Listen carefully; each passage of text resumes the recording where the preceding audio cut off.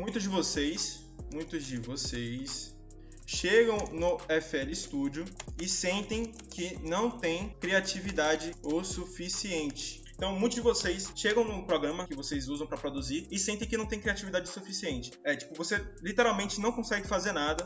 Não tô falando que você não precisa ser criativo para fazer beats. Eu tô tentando te dizer que você é criativo, mas você só ainda não sabe usar a sua criatividade. Sim, rapaziada, velho, vocês são criativos. Se você for se, se você for prestar atenção no que passa na sua mente durante o dia inteiro, mano, com certeza vão ter várias ideias que você vai ter, tá ligado? Tipo, quantas vezes você não tava caminhando e do nada surgiu alguma ideia de beat? Ou do nada surgiu alguma ideia de alguma, algum tipo de música, algum, alguma, se você for MC, alguma letra, alguma, algum verso, tá ligado? O que eu tô te, querendo te dizer, mano, é que você não sabe usar essa criatividade.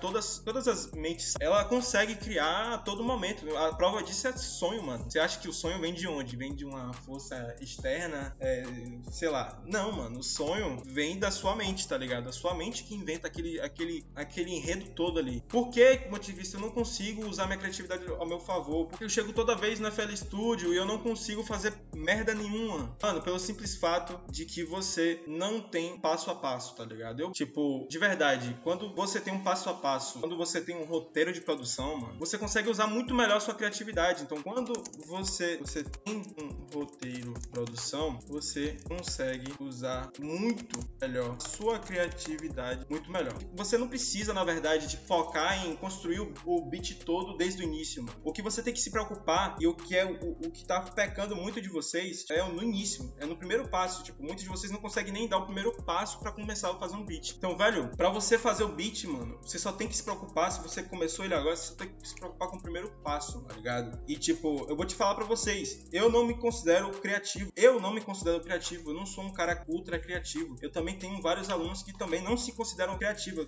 Para ser mais específico, eu tenho mais de uma centena de alunos, tá ligado? No meu curso.